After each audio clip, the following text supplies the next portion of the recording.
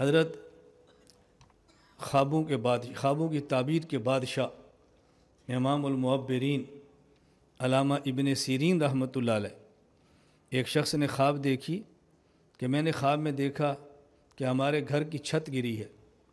फरमाया, अपनी ज़मीन खोदो। ना, उसने कहा, हमारे घर मैंने ख्वाब देखा है, चारपाई के नीचे से आग निकली है।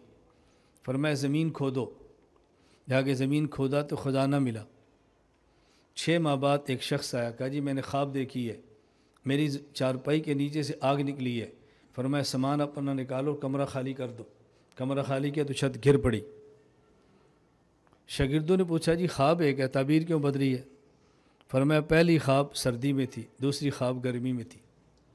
गर्मी में ख्वाब देखेंगे ताबीर और होगी, सर्दी में ख्वाब देखेंगे ताबीर और अब आपने इनकी किताब किताब रो या वो पढ़ लेनी है।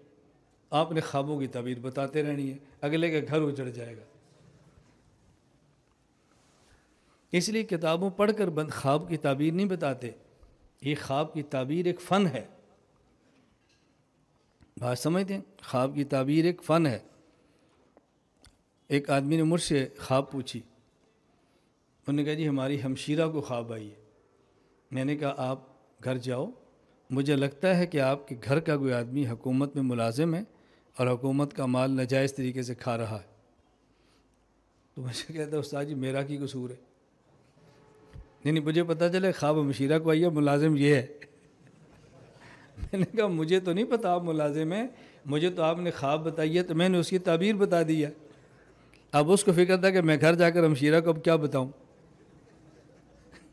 मैं ख्वाब तूने देखी है, गले मेरे फिट हो गई है। तो ये ताबीर एक फ़न है। इसका ताल्लुक़ किताबों से नहीं होता। ये याद रखना, हर फ़न आदमी मेहनत करता है, इसमें कोई शक नहीं है। और असल व फ़न अल्लाह की अता होता है।